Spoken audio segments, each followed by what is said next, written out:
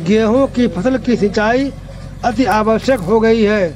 जिला अधिकारी के निर्देशानुसार सफ़ाई कराना अति आवश्यक है, परंतु ठेकेदार द्वारा मनरेगा मजदूरों के से सफ़ाई न करा करके जेसीबी मशीन द्वारा नहर की सफ़ाई की जा रही है।